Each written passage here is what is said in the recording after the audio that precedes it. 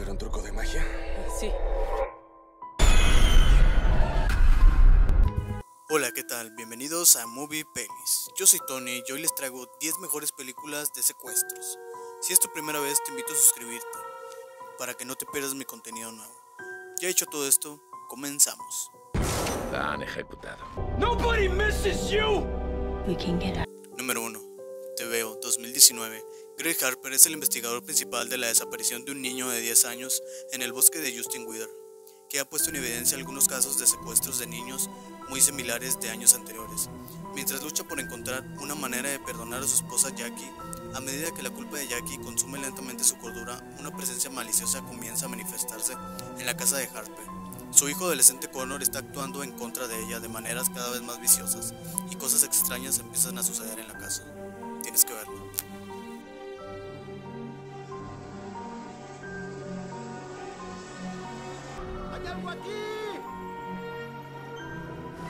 Vas a encontrarlo.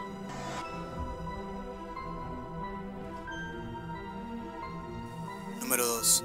La chica del sótano, 2021. La chica en el sótano es la triste y aterradora historia de Sara, una adolescente a punto de cumplir 18 años.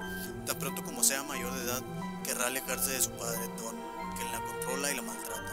Pero su vida da un giro inesperado cuando Don la encarcela en el sótano de su casa, mientras intenta manipular a su esposa Irene para que crea que se ha escapado. La visitará sigilosamente y la torturará en el sótano. Después de 20 años, este doloroso caso finalmente se expone a la familia. Tienes que verlo.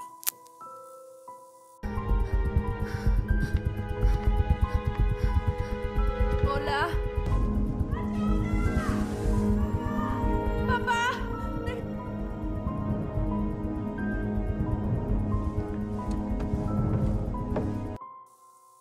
3. Secuestrado, 2017. Una plácida tarde en el parque se convierte en una pesadilla para Carla, una madre divorciada que no se detendrá ante nada para intentar recuperar a su hijo de 6 años, el pequeño Frankie, cuando este es secuestrado delante de ella en plena tarde en un parque de atracciones. Ella ve como dos extraños arrastran a su hijo dentro de un coche y arrancan. Sin teléfono ni tiempo para llamar a la policía, Carla perseguirá a los secuestradores con su propio coche, comenzando una frenética y desesperada carrera para tratar de recuperar a su pequeño.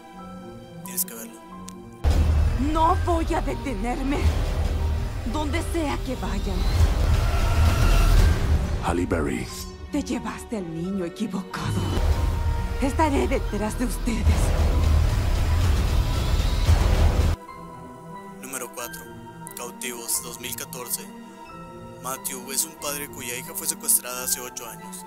Tras mucho tiempo de angustias y esperanzas muertas, descubre que varias desconcertantes pistas que le hacen pensar que la joven que habría cumplido 17 años sigue viva. Con la ayuda de dos agentes, el desesperado padre iniciará una carrera contra el reloj para dar con el paradero de su hija. Tienes que verlo.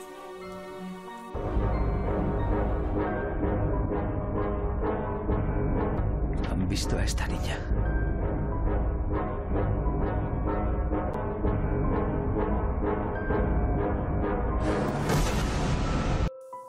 Número 5. Casa al asesino 2013.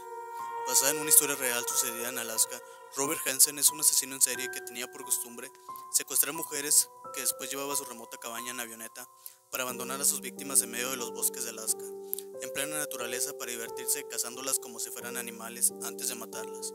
Por otro lado, el agente de policía Jan Holcomby está decidido a capturarlo, por ello cuenta con la única testigo que ha conseguido escapar de este asesino, una joven llamada Cindy. Tienes que verlo. De los cargos por asesinato.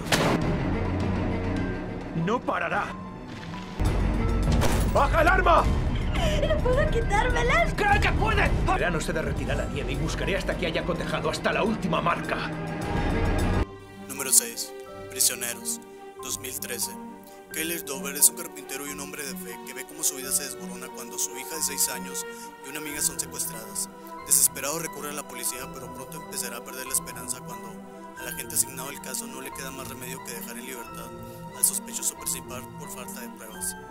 Es entonces cuando comenzará una búsqueda personal contra el reloj para descubrir la verdad y salvar a las dos pequeñas tomándose la justicia por su mano. Dover deberá dejar por un lado los escrúpulos y poner el destino de su alma al servicio de Dios para llegar al fondo del asunto para encontrar a su hijo. Tienes que verlo. ¿Pasar? ¿Por qué no me dice cómo se llama? Dijo que se las había llevado él. Dijo sí. ¡Yo! ¡No usted! ¡No usted! ¡Yo! ¿Estaba con alguien más? Hemos encontrado algo. Cada día se preguntará por qué no estoy ahí. Número 7. El secuestro de Cleveland, 2015. El 22 de agosto del 2002, Michelle fue secuestrada por Ariel Castro en Cleveland y mantenida cautiva en su casa durante más de 11 años, encontrando fortaleza a través de su creencia en Dios y decidida a reunirse con su hijo. Poco después secuestró a dos adolescentes, Amanda y Gina, y las encarceló junto a Michelle, quien luego se convirtió en una figura de amiga y hermana de sus compañeras víctimas. Cuando una de las chicas quedó embarazada del hijo de Castro, fue Michelle quien ayudó a dar a luz a su bebé. Incluso le realizó RCP a la niña bajo la amenaza de Castro mientras él decía, si el bebé muere, mueres. Tienes que verlo. You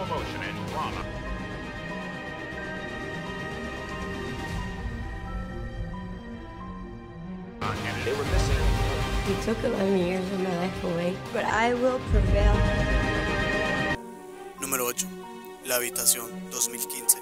Para Jack, un niño de 5 años, la habitación es el mundo entero, el lugar donde nació, donde come, juega y aprende con su madre. Por la noche mamá lo pone a dormir en el armario, por si viene el viejo Nick. La habitación es el hogar de Jack, mientras que para su madre es el cubículo donde lleva 7 años encerrada, secuestrada desde los 19 años. Con una gran tensión e ingenio, la joven ha creado en este reducido espacio una vida para su hijo, y su amor es lo único que la permite soportar lo insoportable. Sin embargo, la curiosidad de Jack va en aumento, a la par de la desesperación de su madre, que sabe que la habitación no podrá contener ambas cosas por mucho tiempo. Tienes que verla. Lo único que veas cuando te mire, Joey. Veré a mi hija.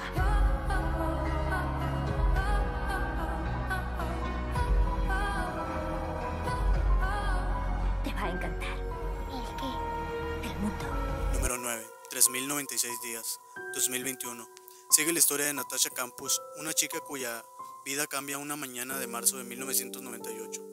Luego de haber discutido con su madre, Natasha de 10 años salió de su apartamento en la ciudad de Viena para ir a la escuela, pero nunca volvió. En su camino un ingeniero de comunicaciones la secuestró, la llevó a una camioneta blanca a su casa y la encerró en una pequeña habitación debajo del garage, sin ventanas y con una puerta de acero. La pequeña habitación se convierte en su único mundo, uno donde es educada y cuidada, de alguna manera por su captor, quien celebra fiestas anuales con ella a lo largo de 3096 días. Tienes que verlo. Oh, I have my period. How long did it take you to finish it? From June till the following month. Clean it up. I up. have to have a shower. A shower. You just rinse it. Me? I saw your smile. Número 10. Teléfono negro. 2022. Cuenta la historia de John Finney, un chico de 13 años quien sin entender cómo despierta encerrado en el sótano de un misterioso y terrible hombre conocido como Al, rodeado de los cadáveres de media docena de niños asesinados e incapaz de entender cómo está, cómo ha llegado y cómo puede escapar de esa horrible situación. John encuentra un teléfono muy antiguo desconectado hace mucho tiempo, que sin embargo empieza a sonar insaciablemente. Cuando finalmente decide contestar, escucha los susurros y balbuceos de un niño. Es ahí cuando John empieza a recibir llamadas de los muertos, no solo de los niños, sino de víctimas previas y pérdidas, que al igual lo aterrorizan y lo impulsan a escapar. Tienes que verla. Por favor, que el sueño sea real. ¿Y la combinación?